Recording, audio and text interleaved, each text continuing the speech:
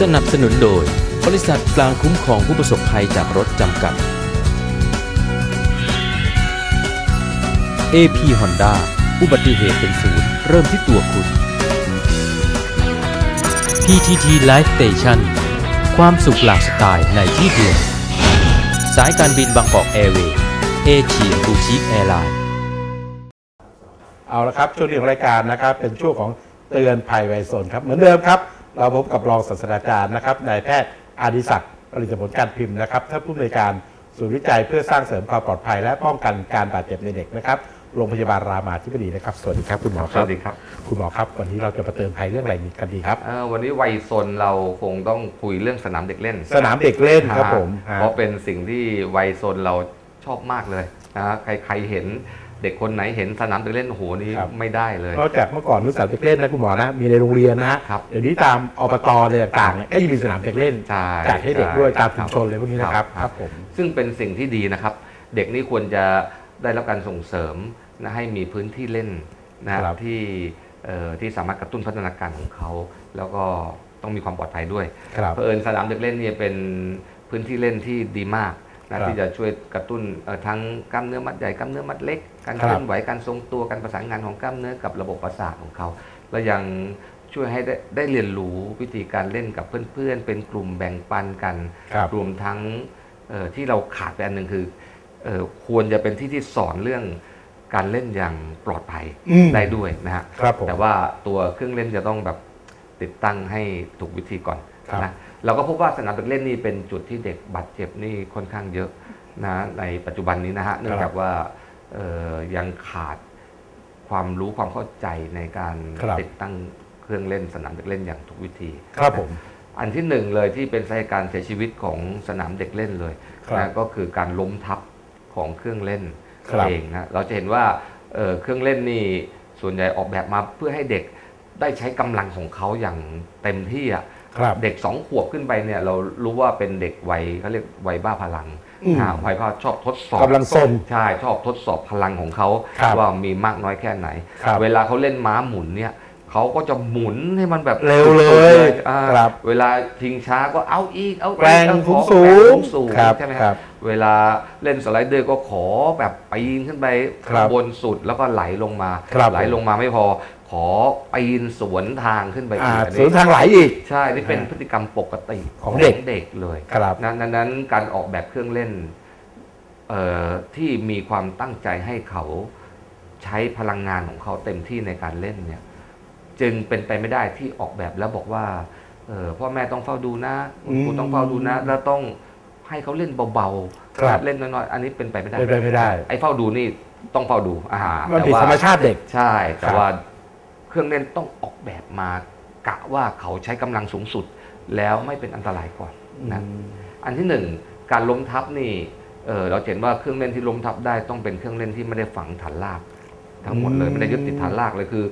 อยู่ตรงนี้สามารถยกไปวางตรงนู้นเลื่อนได้อะไรได้ หลักการที่ต้องยึดตรึงแน่นเลยใช่ไหมครับคุณหมอฮะครับเพราะเครื่องเล่นมันหนัก 2 3 0 0กิโลแล้วเด็กครับต้องเล่นแบบเต็มกำลังโอ้โหเด็กน้ำหนักฮะ10กิโลกว่าๆอีกนะครับคุณหมอใช่เพราะฉะนั้นเราจะเห็นเครื่องเล่นปีนป่ายที่เด็กปีนไป แล้วก็ล้มทับนะเราจะเห็นเครื่องเล่นชิงช้าที่พอไกวสุดแรงตรงที่ไกวสองคนไปกันคนละทิศแล้วคนหนึ่งกระโดดออกไปก่อนครันะบไอ้คนอีกไปอีกทิศหนึ่งก็ล้มไปพร้อมกับเครื่องเล่นแล้วคานก็ตีที่บริเวณศีรษะของเด็กอืมเป็นต้นนะ ในต่างประเทศถ้าเราได้มีโอกาสไปประเทศพัฒนาทั้งหลาย ทุกมุมถนนมีเครื่องเล่นหมดเลยครับนะคุณหมอเพื่อให้ครับเด็กได้มีโอกาสเล่น ยึดติดฐานรากทั้งหมดเลยครับนะฮะนั่นก็เป็นเรื่องที่หนึ่งครับ เรื่องที่สองของวัยซนเราก็คือการตกที่สูง ลงมาศีรษะกระแทกพื้น แล้วก็เลือดออกในสมอง ครับ นะเพราะฉะนั้นเอ่อการป้องกันการตกอันที่หนึ่งตั้งแต่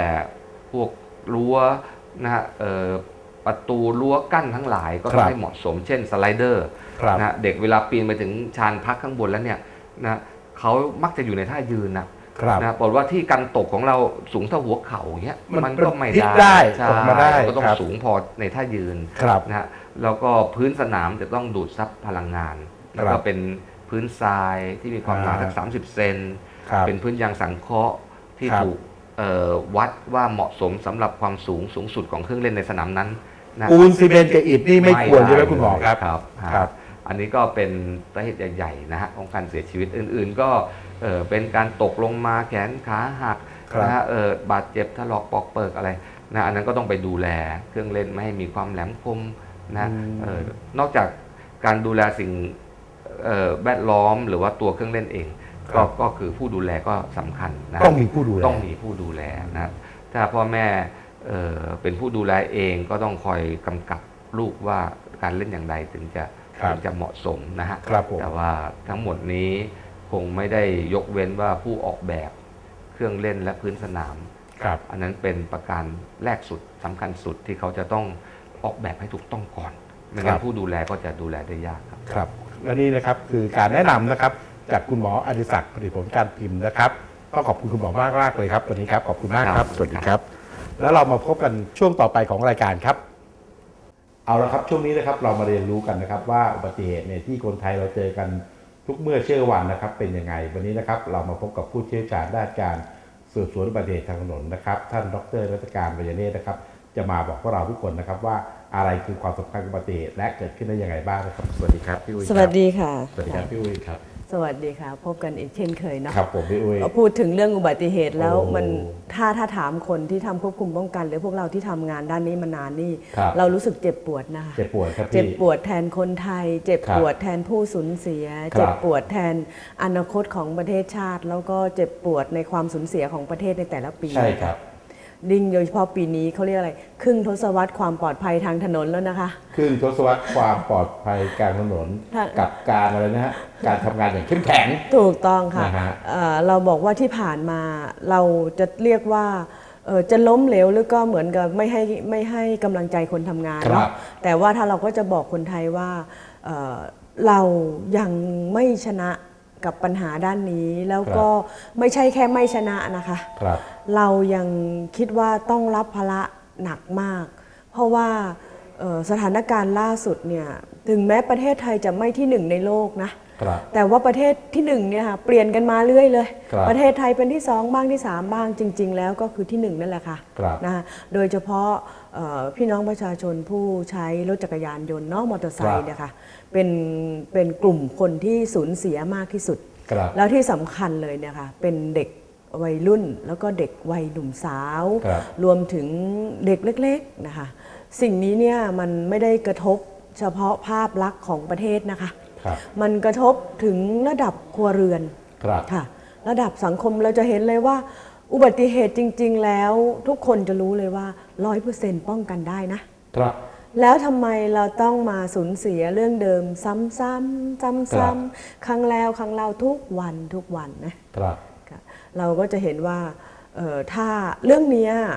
รัฐบาลข้าราชการหรือว่านักวิชาการอย่างพวกเรานะคะ ไม่สามารถทำการควบคุมป้องกันได้โดยลำพังเนาะครับเราต้องอาศัยความร่วมมือจากประชาชนนะคะ ทุกบ้านทุกครัวเรือนค่ะครับต้องให้ความสำคัญกับเรื่องความปลอดภัยบนถนนครับค่ะทำอย่างไรอุบัติเหตุจะไม่เกิดถูกไหมคะเอ่ออุบัติเหตุอะไรที่เกิดขึ้น มากที่สุดในประเทศไทยก็หนีไม่พ้นมอเตอร์ไซค์เนาะครับผมค่ะ เราจะบอกว่ามอเตอร์ไซค์เนี่ยเป็นยังไงบ้าง คือเราใช้มอเตอร์ไซค์ในในชีวิตประจำวันว่างั้นเถอะนะคะทุกบ้านถึงแม้จะมีรถยนต์นะคะก็จะต้องมีมอเตอร์ไซค์สักหนึ่งคันสองครับคันนะไว้ เอ่อเขาเรียกอะไรไปที่ใกล้ๆไปซื้อของใกล้ๆบ้านค่ะไปตลาดซื้อของเล็กๆน้อยๆค่ะครับบางบางท่านอาจจะบอกว่า เอ้ยมันเป็นรถคันเดียวของครอบครัวนะ ครับ มันเป็นพาหนะที่พาทุกคนไปนั่นไปนี่ไปวัดไปส่งลูกที่โรงเรียนอะไรอย่างนี้ก็ตามครับนะคะท่านทราบไหมว่าเมื่อไหร่ก็ตามนะคะที่ท่านอยู่บนหลังมอเตอร์ไซค์เนี่ยสิ่งแรกที่ท่านต้องนึกถึงเลยนะคะว่ามอเตอร์ไซค์นะมันไม่มีห้องโดยสารเนาะครับ ที่จะเป็นเกาะคุ้มกัน ชนกับอะไรก็ตาม ตั้งแต่ล้มเองนะคะชนกับรถอะไรก็ตาม เราก็เป็นคนแรกที่จะบาดเจ็บแล้วก็เสียชีวิตศัพท์ชาวบ้านเขาเรียกอย่างนี้ครับพี่อุ้ยครับ เนื้อหุ้มเหล็ก นั่นแหละค่ะคือคือเห็นภาพเนาะครับนะคะเนื้อเนี่ยมันมันไปปกป้องเหล็กไม่ได้ถูกไหมครัคะบปกติเราก็ใช้เหล็กเนี่ยปกป้องนะครับอย่างไรก็ตามนะคะจะเห็นว่าทุกทุกครั้งของการขับขี่เนี่ยค่ะมันสามารถ ป้องกันอุบัติเหตุได้นะคะตั้งแต่หนึ่งคุณภาพของคนขับละครับ โอ้พูดถึงเรื่องคุณภาพคนขับนี่เป็นเรื่องเรื่องใหญ่มากนะคะเอ่อท่านท่านบอกว่าทุกบ้านนะนะไม่ใช่ไม่ใช่ครอบครัวใดครอบครัวหนึ่ง บอกว่า ลูกหรือว่าเด็กหรือว่าเยาวชนเนี่ยเป็นที่รักเป็นอนาคตของครอบครัว เป็นอนาคตของประเทศไทย เป็นอนาคตของสังคมไทย แต่ปัญหาของเราว่าเอ๊ะ เราดูแลอนาคตของประเทศดีพอหรือยังครับเราเอ่อเขาเรียกอะไรให้ความสำคัญกับ